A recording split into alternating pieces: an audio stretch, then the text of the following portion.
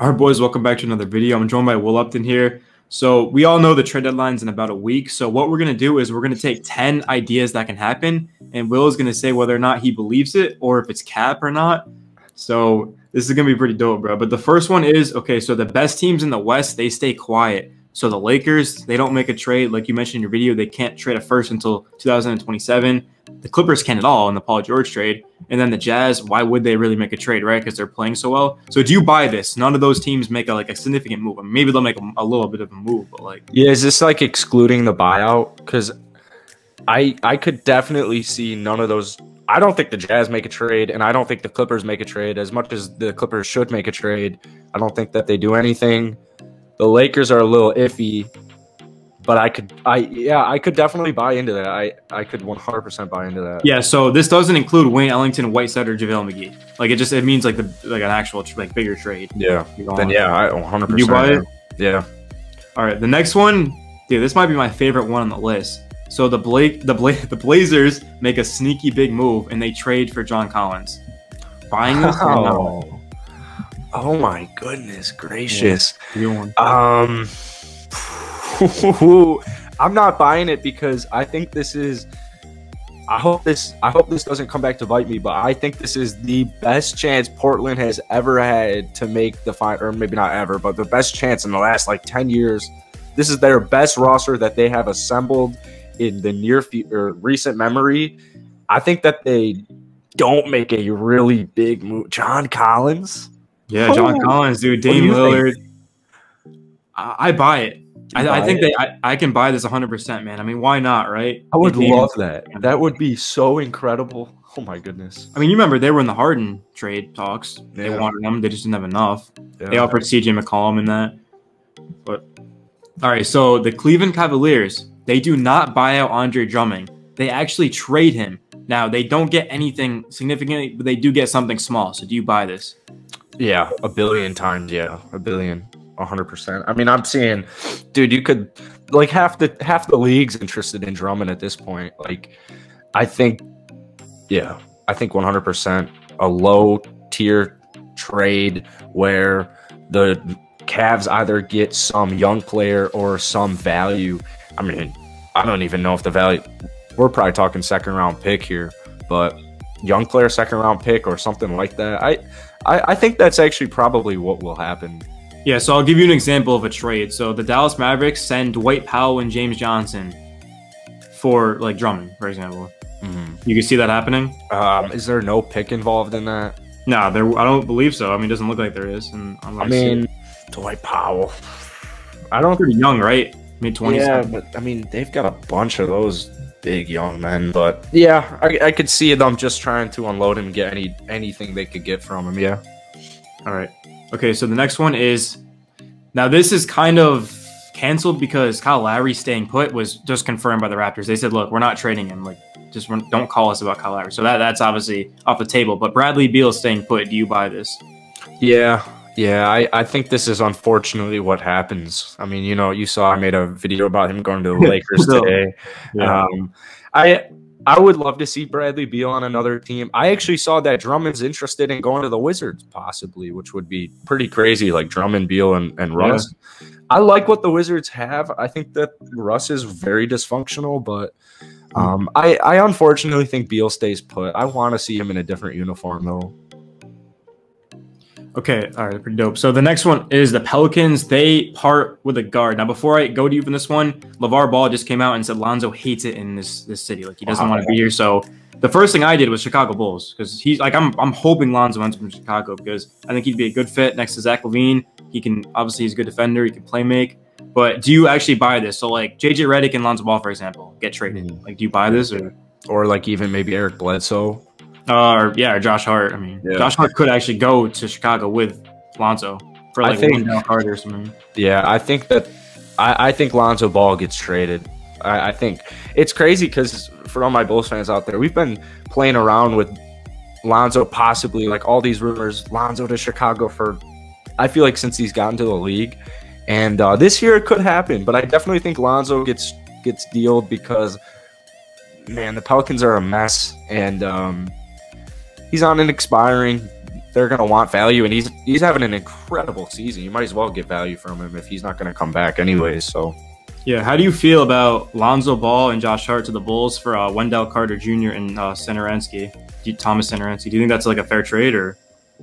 Um, that's a risky trade. It's a risky trade. I'm not. I've never really been too sold on Wendell. I want to give Wendell more time, but um, I think if they do that trade, they're in the playoffs 100 percent because they need a playmaking point guard very badly. Satoransky in his time starting has been looking good, but Lonzo's a little bit different.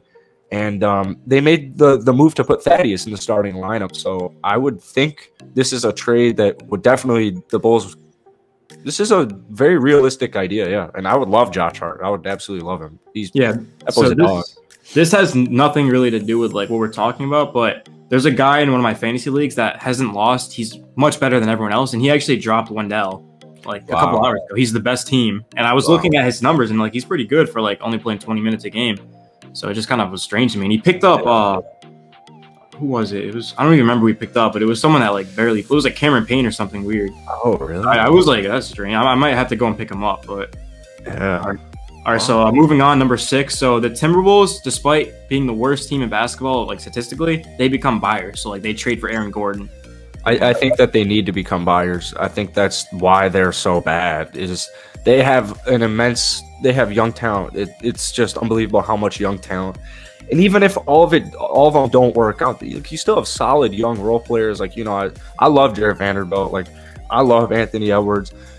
They need a veteran. They need every single team in the NBA needs veterans, and Ricky Rubio to me is like the only veteran that really stands out on that team. And as good of a veteran as he could be, I definitely think that they need to become buyers. I mean, they've got they've got talent, man. A healthy D'Lo and a healthy KAT enough should be motivating. Like you can't there that organization is a mess. They need to do anything they can do to not continue to be a mess. Yeah, in my opinion, I watched a lot of Timberwolves games actually because I have KAT in a league, I have D'Lo in a league. I know you have Edwards. They're horrible. Oh, I have Malik Beasley too, but they're, they're just a bad team. And I think D'Lo is like one of the more overrated players in basketball, wow. just because he can't defend. He's actually, I think he's the second worst defender statistically in the NBA. I mean, that dude cannot defend, and he can only score. Like he can only shoot, and when his shot's off, I mean, you you know the who was it? Ryan Saunders was their previous coach. He actually said when D'Lo wasn't in the lineup or on the bench, like he that was like when he was at his best. Like he loved to coach. So yeah. that I mean, Ryan Saunders is a bad coach too, but like I'm just saying, like uh, I think Devin Booker would have been amazing if he ended up going to Minnesota. I mean, that's probably out of the table by now. Yeah. But I mean, if he did go to Minnesota with KAT, that would be dirty. Yeah, but, they need defense, man. KAT. KAT gets such a bad rep for playing bad defense. Well, none of the four guards out on the court can can play any defense, so of course they're going to be attacking KAT. Everyone's getting beat. All right, so the next one up is actually the Chicago Bulls. So Ooh. they're going to break up their young core and they're going to trade Lauri Markkanen and Bro. Wendell Carter Jr. Bro. Do you buy this? That they just break up everything and trade those guys? Oh man. Ah. Lauri and Wendell, I could definitely buy it, but I don't think it happens. I could 100% buy it, and I hope there's Bulls fans in the comment section saying we should do this because I would love to hear their opinion on it. You know how high I am on Lauri, and um, but yeah, I could definitely see that because he's on. It's his last year, and uh, Wendell just hasn't hasn't ever really been that that dude. He's only played in like 100 NBA games, but yeah. I could see that happening. I hate to say it. I hate it. I don't think it happens. I, I think they I think they buy. I don't think that they sell though. I mean, this is just at the top of my head. It might not even make sense, but like, would you take Victor Oladipo for Lauri? No.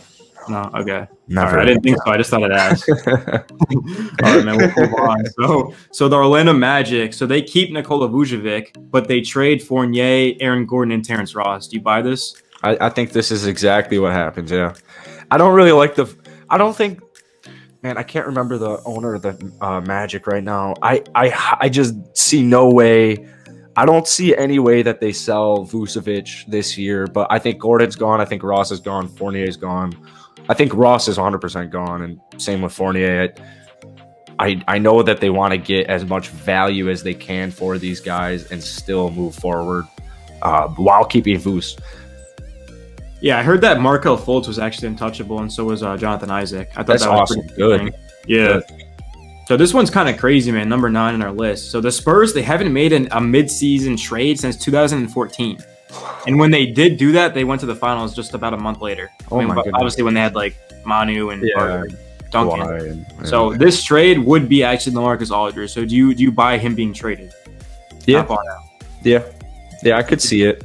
Um, I could definitely see it. Once again, I don't think his value will be very high. Um, 'cause he's what 35 and extremely slow, but he could definitely. I mean, he could help out a contending team 100. percent But I could see that happening because with a lot of these guys, is I would want to if I'm a contending team and I know I want LaMarcus or I know I want Drummond.